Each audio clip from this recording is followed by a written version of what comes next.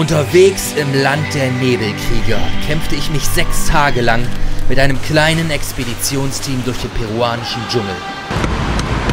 Erdrutsche, schlammige Pfade und immer wieder extremer Starkregen brachten mich an meine Grenzen und weit darüber hinaus.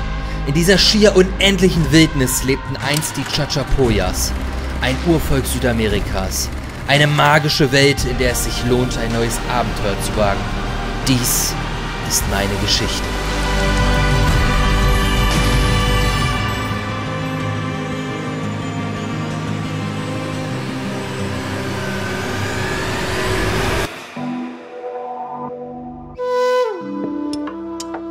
Wir gehen mit Don José zu einer Höhle, wo es wohl Fledermäuse, Vögel und andere Tiere gibt. Niklas hat sein Wärmebild Genau. gesät mit. Wenn wir Glück haben, kriegen wir ein Wärmebild von irgendeinem Tier, das wir euch zeigen können. So anderthalb Stunden Marsch hin und auch wieder zurück.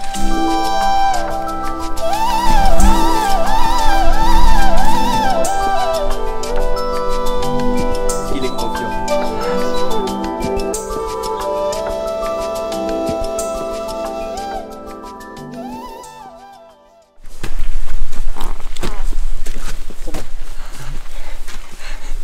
Das Essen schlägt durch beim Herrn Röder. Mir so einen kleinen Scheinwischer installieren für meine Stirn, der immer so, es nicht in die Augen läuft. Wir sind übrigens jetzt gerade mal 720 Meter unterwegs und haben 162 Höhenmeter. Also eigentlich nichts. Hier sieht auch geil aus. Mal ganz kurz umdrehen. Das ist so ein bisschen richtig dschungelmäßig, wie ich es mir vorstelle, wenn man dann drin ist. Hier die äh, Passagen, die ihr gerade gesehen habt, das ist ja mehr Landwirtschaft. Waren ja Kühe und sowas.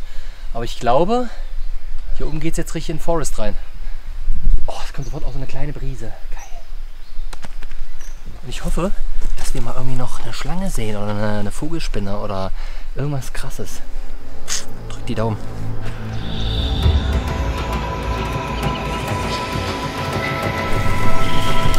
Jetzt geht's in den Dschungel, Jungs und Mädels.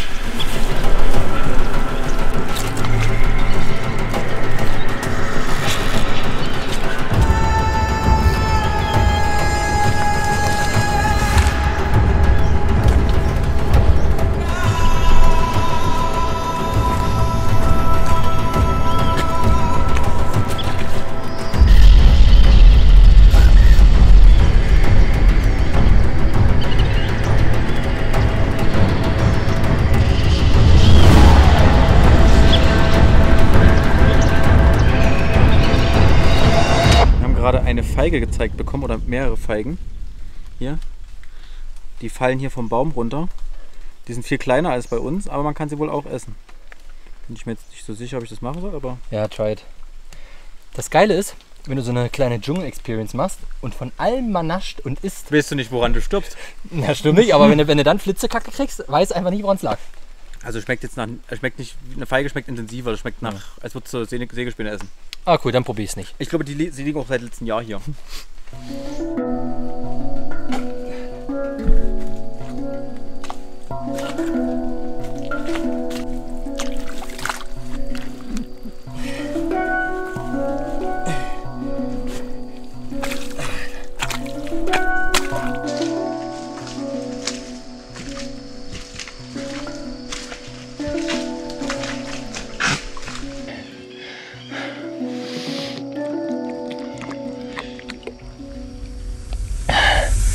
Also, während André hier irgendein so Pomelo-Ding wieder frisst, ist uns mal aufgefallen, dass es seit gefühlt einer halben Stunde bei André aus dem Rucksack raustropft. Ich habe seine Flasche aus dem Rucksack rausgeholt, die so rum drin war. Und ich weiß nicht, ob man das sieht. Aber der Deckel ist auf jeden Fall richtig auf Klemmung. Naja, die Hälfte ist auf jeden Fall im Jungle. Schön, oder? Nicht so schlimm, André. Es ist nicht so schlimm. Ich sag mal so, also ich bin nicht der Einzige, der Wasser dabei hat. Leichte Flashbacks zurück in die Wüste.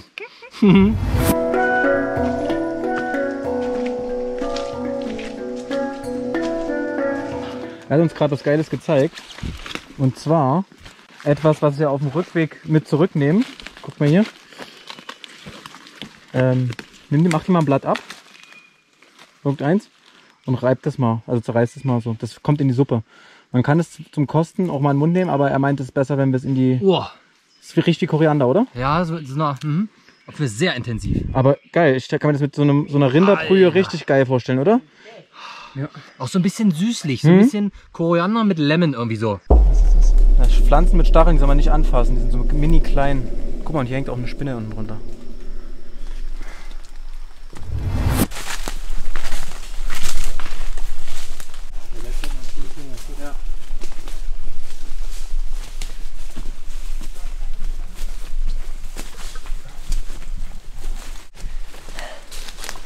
Ich brauche mal kurz eine Minute.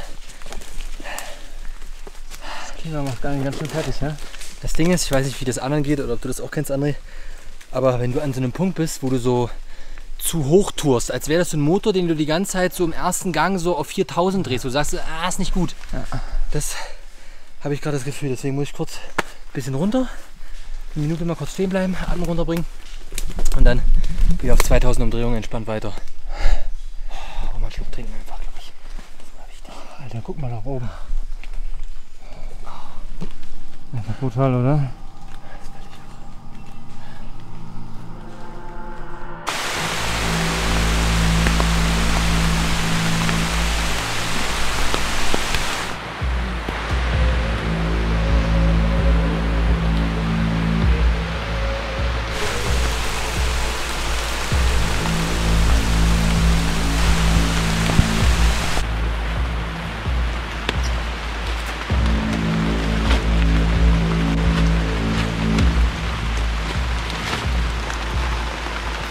Frisch geschlüpft. Also wir sind mittlerweile wieder auf 2168 Meter, haben gute 450 Meter bergauf gemacht, sind seit ein bisschen über zwei Stunden unterwegs und haben in diesen zwei Stunden satte 2,4 Kilometer geschafft. Da unten ist die Höhle, Freunde.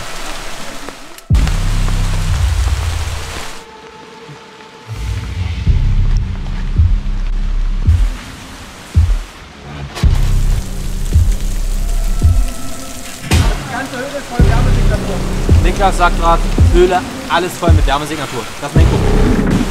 Ich bin gerade über, am überlegen, ob es Vögel oder, oder äh, Fledermäuse sind, aber es sind ultra viele.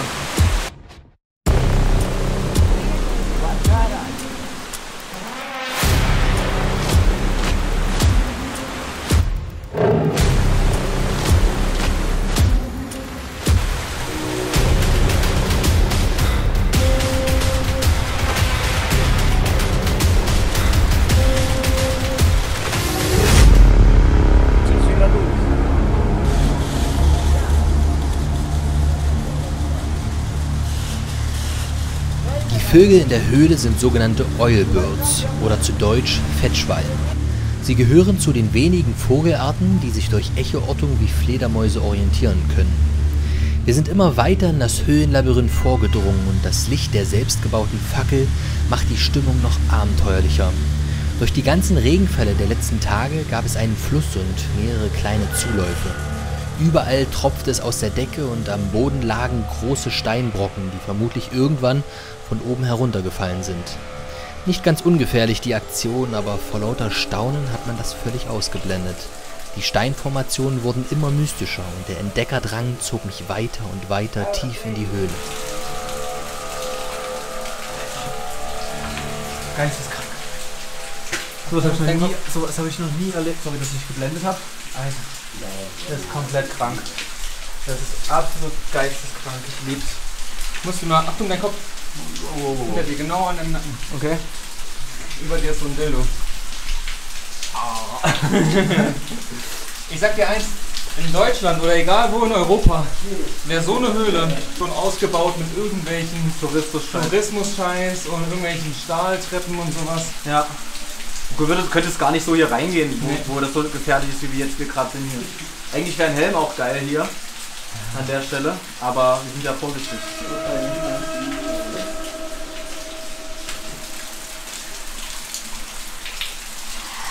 So, ihr habt es gesehen, wir haben uns hier ein bisschen reingekämpft, sind gerade in einem sehr, sehr geilen Abschnitt der Höhle hier gelandet. Und im Hintergrund sau viele Stalaktiten. Stalaktiten kann man sich ganz einfach merken, sind die, die immer von oben runterhängen. Kleine Eselsbrücke, liebe Frauen, nicht zu ernst nehmen, aber Stalaktiten, Stalaktiten, Hängetitten. Ha. Ähm, und Stalagniten sind das Gegenstück, das sind die quasi, die auf dem Boden sind. Und ja, was ist das Ganze? Im Endeffekt merkt ihr, es regnet hier in dieser Höhle. Das heißt, irgendwo oben sind kleine Löcher, kann man sich vorstellen, wie so ein Schweizer Käse oder auch so ein Schwamm als Gestein. Da fließt das Regenwasser oben durch und kommt dann hier in irgendwelchen Hohlräumen raus, tropft von der Decke und nimmt halt Mineralien mit. Und die gehen dann quasi, vielleicht sieht man es hier so ein bisschen ganz gut, gehen dann runter dann hängt hier mal ein Tropfen und dieser Tropfen Wasser nimmt quasi vom Gestein oberhalb Mineralien mit und das bleibt wie so eine, fast wie so eine Salzkruste, kann man sich vielleicht vorstellen, einfach hängen und verhärtet dann. Das heißt, diese Stalaktiten hier oben sind viele Jahrtausende alt, deswegen sollte man natürlich auch extrem vorsichtig sein, hier nichts abbrechen und so weiter. Und äh, ja, ein Wunder der Natur, meine Freunde.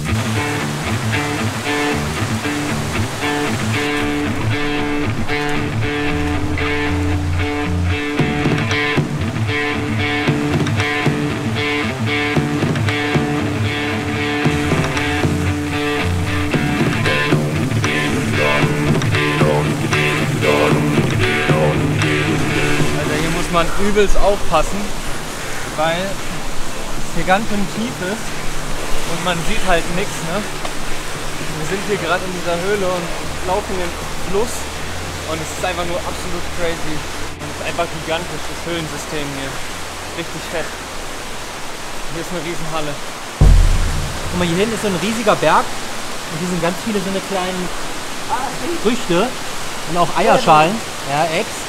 Und dort oben ist ein Riesenloch. Ich bin mir nicht sicher, ob das Loch vielleicht irgendwo über ein paar Umwege oben im Dschungel rauskommt und dann quasi Früchte da reinfallen oder Erde reinfällt, weil wo kommt das alles her? Und vor allem, guck dir mal diesen Hügel an. Oder, Theorie Nummer zwei, das ist ein Riesenhaufen Scheiße von den Vögeln. Da kann ich ein bisschen Input geben, weil Okay. mich hat eben so ein äh, Drops getroffen von oben. Und der war ungefähr die Größe Ja und? und der ist mir schön hier in den Nacken rein. Und ich schätze mal, das sind die Dinger. Ja, aber das ist doch was aus dem Dschungel. Ja, das, na, weil die Vögel draußen fressen gehen und das dann jetzt drinnen ausscheißen, wenn sie verdaut Das haben. Ding. Ja. Da ist doch irgendwas drumrum. Da, da ist vorher Ah, Frucht- das ist da nur noch der Kern. Das ist der Kern, die, die nehmen die Frucht, Das heißt, die fressen die komplette Frucht genau, mit Kern. mit Kern und scheißen hier wieder aus. Ja. Ah, so. The, like, ah, siehst du? Zeichensprache. Vogel, fliegen, happa, happa. Zack. Muy bien.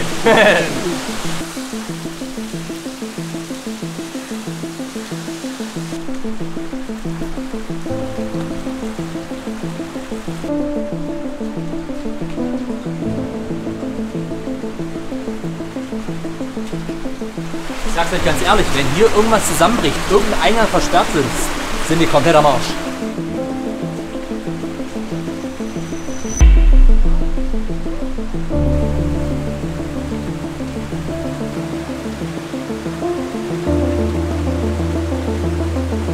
So, wir sind jetzt hier am Ende der Höhle angekommen, zumindest für uns. Das Wasser fließt noch weiter. Man würde vielleicht irgendwie dorthin sich durchquetschen können. Aber das Problem ist dann, dass wenn der Wasserspiegel ansteigt, es sehr viel regnet, ähm, ja, wir nicht mehr zurückkommen würden. Ne? Ganz klar, Wasserspiegel steigt und dann ist der Rückweg blockiert. Das gehen wir natürlich nicht ein. Wir sind ja mitten in Peru, irgendwo im Dschungel. Deswegen geht es jetzt wieder Richtung Ausgang.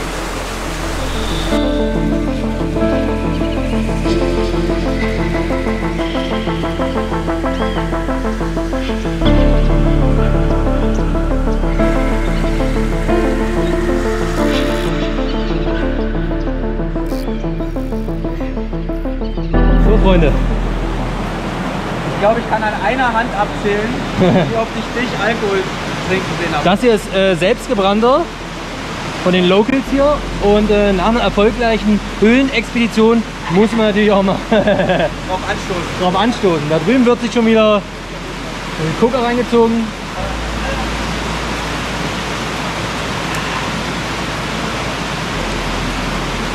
Muy bien. Ja, kann man mal einen Schluck nehmen und dann kann man es wieder lassen.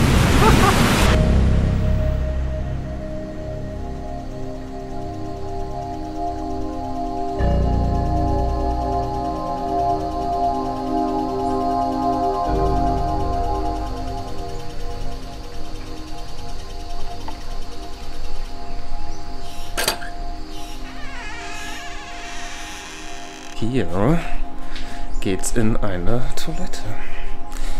Es ist natürlich nicht gerade das modernste, aber es macht auf jeden Fall den Job. Spülung, ja, da seht ihr es. So sieht das aus. Dann legen wir mal los. Am besten nochmal schön von allen Seiten. Wir müssen mal kurz eine Sache thematisieren. Ich weiß, es liegt eigentlich auf der Hand und ihr sitzt gerade schön auf eurem Sofa und denkt euch, ja, was will der Typ jetzt mir eigentlich erzählen?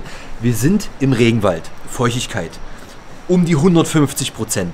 Ja, das ist jedem klar. Aber was das in der Praxis heißt, das ist, das ist eigentlich nicht vorstellbar, weil es ist wirklich alles nass. Ja, selbst das Objektiv von innen ist nass. Hier ist alles nass. Mal ein kleines Beispiel. Die Gummistiefel, die stehen hier komplett im Trockenen. Ne? Die, das ist Gummi als Oberfläche. Hier oben ist es etwas angetrocknet, aber auch nur so ein bisschen. Und hier unten ist es ist einfach nass. Und die stehen seit, keine Ahnung, 10 Stunden, 12 Stunden da. Auch die Klamotten, es, ist, es wird nichts mehr trocken. Das, was hier, ne, ihr seht es hier, trocken scheint. Ne? Das sieht ja trocken aus und das sieht nass aus. Das ist immer noch feucht, das ist klamm, wenn du hier anfasst. Es ist alles komplett durch. Selbst die, die Crocs, ja, die quasi, also da ist ja nichts zum Einziehen, das ist kein Stoff, sondern das ist quasi Material, wo kein Wasser eindringen kann. Die standen innen drin und heute Nacht war ich um 5 Uhr pinkeln, bin rein, pff, komplett in die Suppe. Ich, die Feuchtigkeit ist überall, everywhere. 150, 300, 400 Prozent Luftfeuchtigkeit, ist einfach krass. Und auf anderen Touren habe ich das natürlich auch mal, dass alles klitschnass ist, das kennt man, mal vom Regen. Aber das ist hier ein Dauerzustand, man muss es einfach akzeptieren. Egal wo, wie lange man ist, man ist dauerhaft nass und alles ist nass. Alles in eurem Rucksack, jede Kleinigkeit ist feucht, nass. Die Frage ist also immer nur, wie sehr? Ist es triefend zum Ausfringen oder ist es klamm und feucht, aber trocken ist hier nichts. Meine, einfach mal ein kleines, ehrliches Essen. Bisschen Reis, bisschen Linsen, bisschen Schwein. Ja, gleich geht's weiter. Dann geht's in den Dschungel. Das ist die letzte Stärkung, bevor wir wieder durch den Matsch gehen, ne? Und meine Prognose für heute ist, Wetter ist deutlich besser als die letzten Tage. Hat gefühlt noch nicht einmal geregnet, aber wir werden trotzdem klitschnass sein, weil wir schwitzen werden wie Sau. Und worauf ich mich aber echt richtig freue, wir haben eine Flussüberquerung vor uns. Und Don José hat in Zeichensprache vorhin mir übermittelt, dass der Fluss auf jeden Fall ein Stück angestiegen ist und sehr, sehr reißend. heute. Geil.